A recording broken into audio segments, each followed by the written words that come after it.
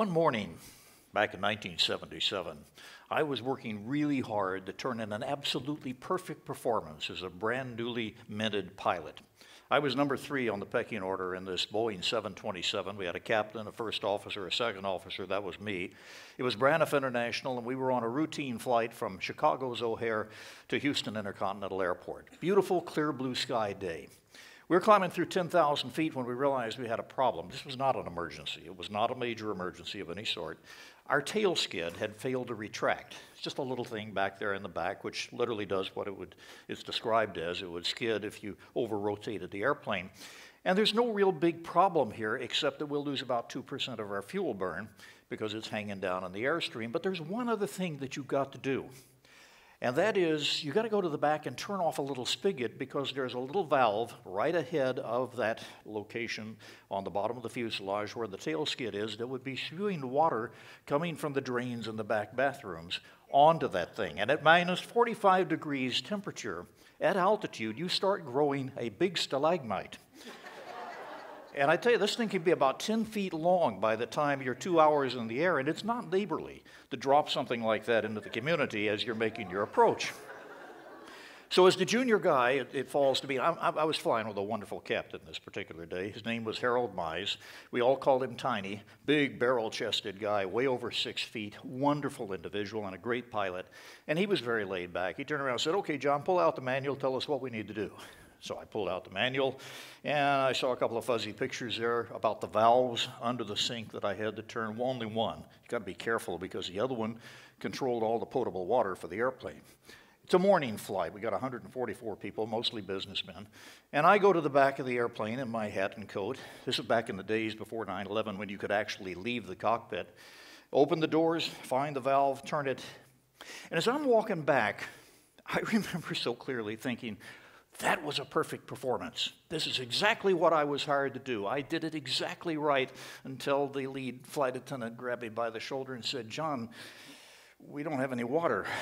I, I had just succeeded in identifying the wrong valve and dumping 200 gallons of potable water over middle Illinois.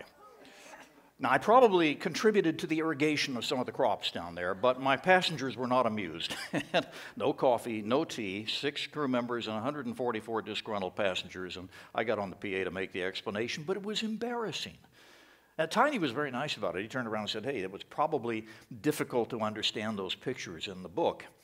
But both he and I knew that I had just failed utterly in my number one responsibility as a young flight officer at Braniff, which was to be perfect absolutely perfect 100% of the time. And I had just proven that they had hired less than the perfect pilot that they thought they had hired and trained. Very, very embarrassing. Fortunately, not a firing offense. But in the next couple of weeks, as I was kicking myself around the block, and I did, uh, having made this mistake, embarrassing my crew and myself, there were a couple of questions that started eating at the back of my mind. And these were embarrassing questions because these were not the sort of they sounded like excuses. They were not the sort of thing that somebody like me with a military background should be engaging in, right?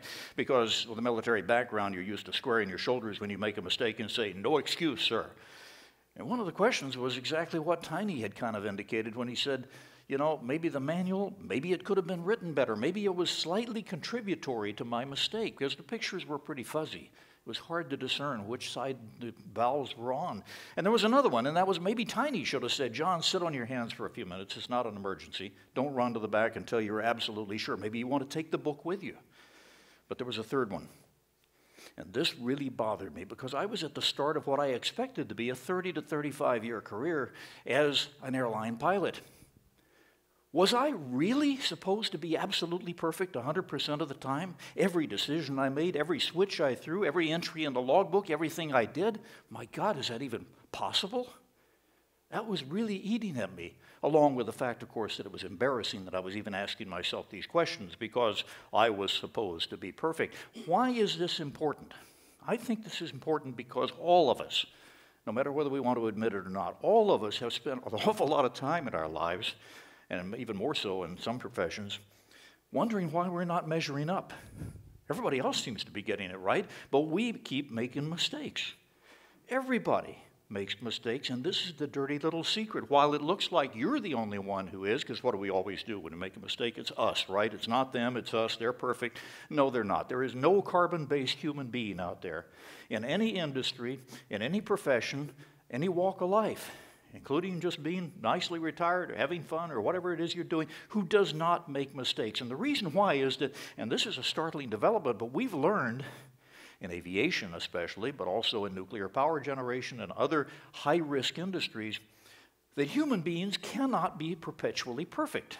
Now, we can be perfect part of the time. Matter of fact, some of us can actually manage to be perfect for a whole career, but here is the kicker none of us has the ability to look somebody else in the eye and say, I promise you that I am going to be absolutely perfect in my execution of whatever it is I'm going to do for the next period of time 10 minutes, 10 hours, 10 years, whatever. We can't say that honestly. So, where does that leave us?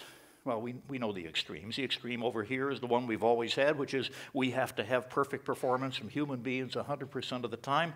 And over here is the laissez faire attitude of, hey, dude, things happen we, we don't want that attitude in the operating room. and we sure don't want it in the cockpits, and we don't want it in the, in the control room of a nuclear power plant. Uh, so, where is the balance point in all this? The balance point is actually a new way of looking at things because we have always had this paradigm. I, you know, it didn't just start with 1966 and Star Trek with Captain Kirk, played wonderfully by Bill Shatner, who was the progenitor of that wonderful Hollywood organization known as Overactors Anonymous. Um, but he was the perfect paradigm, wasn't he? Because he was omnipotent and he was infallible and he was a bloody fraud. I don't mean Bill, I mean the, the character. He was a fraud because none of us can be perpetually perfect. And as I say, we then have this dilemma. Where is the balance point? Here is the balance point. It's where we say, I'm very good at what I do, but I know I'm a human being, and I know that there are not I, know there are times that I'm not going to hear things right. There are times that I'm not going to interpret it right. I'm going to make mistakes that are purely a result of being human, not a result of being a bad professional or a bad husband who forgets to take out the trash, but just being human. But if I know that, and I'm honest enough to admit it, then I have to say, how can I put a prophylaxis of one sort or another in place? How can I build a structure around my potential for human failure that is going to prevent those failures from metastasizing into a result I don't want? This was the key to aviation safety, and we didn't know it until the mid 80s. This idea of being able to look at human performance and human failure and say, hey, we got to know how we fail. And guess what? Most of it is inadvertent failure. Like the three guys at Delta Airlines. You all know Delta. They're the ones that gave us that wonderful phrase I don't know where I'm going to go when I die, but I do know I'll change in Atlanta. Um, Delta's a great airline, but 1987 they had three very highly qualified, wonderful guys taxiing off at takeoff, going up to Salt Lake City. They crashed the airplane on takeoff and killed 17 people because they had forgotten to put the flaps in the right position. Those are the big movable panels on the back of the wing and the drooping panels on the front. They forgot, even though all three of them read the checklist and responded 15 15 green when they were 0 0 and there had never been a green light. How does this happen? Well, nobody was on drugs, nobody was drunk, nobody was unqualified. They just happened to be carbon based human beings. Old Star Trek term, forgive me. The thing is, we have to be serious about this. And in aviation, we finally realized we have to build a system. But what's the system we're going to build? First, we're going to fire Captain Kirk. We're going to look at that captain and say, hey, dude, we're on to you. You're not perfect. So if you don't create a team, if you don't have it to where your co pilot and your flight engineer can speak to you, you know, don't give us this when I want your advice, I'll ask for it. Boy, did I hear that a few times. If you can't create that environment of a team, a collegial interactive team in which nobody would have any hesitation to speak up if they saw, heard, felt, or even intuited that something is wrong, then you're not going to fly for us because we can't trust you to be perpetually perfect no matter how well we trained you, no matter how good you are.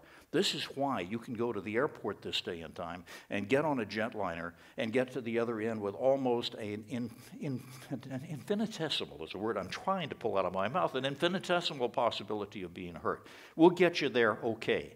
Not well fed, not well treated, but okay. That's another lecture for another day. Tradition, It's a moral failure to make a mistake. No, the reality is, next time this happens to you individually, professionally, and you're kicking yourself around the block, stop and think, hey, I'm already ahead of the game because I realize this. I've got a message from the underlying system that I can use to not only assuage my feelings of inadequacy, but to know that everybody else is the same way. My strength is knowing how to apply that, how to build a system around me. I'll give you an example. My wife is absolutely incredible. She's a nurse, she's a, an author and lecturer. She's incredible in knowing the calendar for the next year. She can remember everything on that calendar without looking, and my schedule as well. I am exactly the opposite. I can't remember what I'm doing next Monday. I have to use a calendar, an electronic one, but that is my methodology of making sure that I don't spend half my life apologizing for missed appointments and missed calls. And that's really the key to this. The next thing, what's next, is knowing ourselves as humans and moving on with the ability to be perfect because not uh, we're going to zero out all our errors, but because we know how to absorb them. Another example. In the U.S. Air Force, I flew an airplane called the Lockheed C 141 for many years. A big, big, beautiful airplane. Well, only a pilot would call it beautiful, all right? It was a big, hulking thing with four engines. Flew it for 23 years, as I say, in the regulars and reserve and through two wars.